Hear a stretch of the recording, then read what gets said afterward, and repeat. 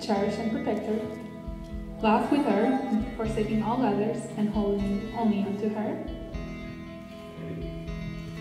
Angelica, do you take Charles be your husband? You promise to love, honor, cherish, and protect him, laugh with him, forsaking all others and holding only unto him.